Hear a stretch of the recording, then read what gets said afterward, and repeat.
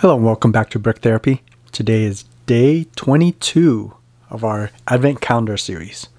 So let's get started.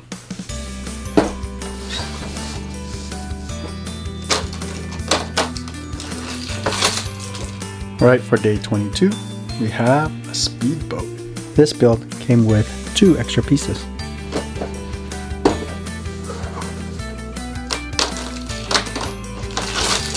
Alright, for day 22, we received the second part of that snowmobile.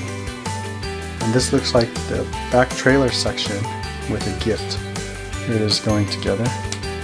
This build came with one extra piece.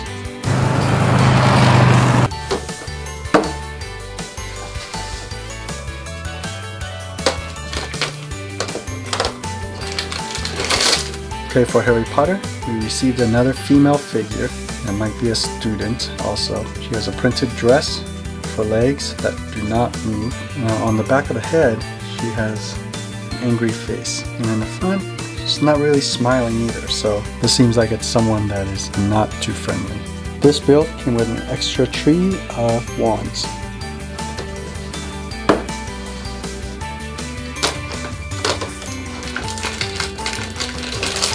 For Star Wars, we receive the iconic Stormtrooper, my favorite figure. It's been a while since I've collected the Stormtroopers, and it seems like they do have new printing on the legs and the torso. And even the back printing I think is a little bit different, but most of all, the helmet has been upgraded a lot. Looks like it's been molded in two different plastics, a black and a white one. And you get a face for the Stormtrooper. I believe the first ones I received did not have faces They were just black. The Stormtrooper build came with no extra pieces.